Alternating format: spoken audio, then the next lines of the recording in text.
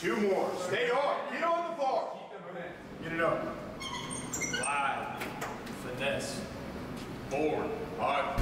My name is Lance Corporal Shevlin.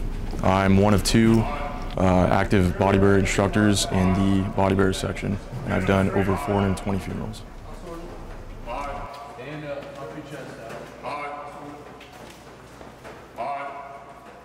The Body Bear CDS program is the selection process in which you go through the training mentally and physically for six to 12 months. It's a self-paced course, so it all depends on the Marine individually.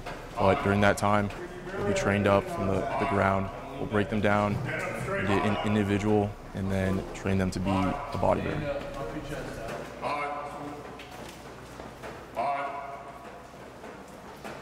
As a body bear candidate, you're going to find yourself hurting almost 24/7.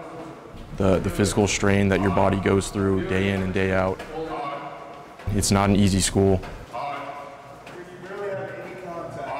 One of the biggest mental obstacles our candidates face during their time in CDS is the fact that they need to learn how to be selfless.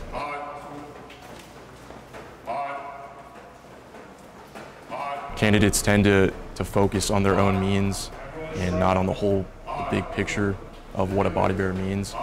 So they, they really dwell on the fact that they're going through adversity. It is our job to teach them that it's not about them. So what the CDS program means to me is building up those Marines coming from ITB and the fleet and training them into the best body bear that they could possibly be. I got the opportunity to come to the Body Bear CDS selection program and going through that and then eventually making the Body Bear section, I've grown tremendously, not just physically but mentally as well. Uh, I've learned that I have the strength to overcome adversity no matter what. Counter march. March. If you could find yourself filling the shoes of a body bearer, then I highly recommend that you reach out and try to contact the body bears. Stand up straight. Stand up. Pump your chest out.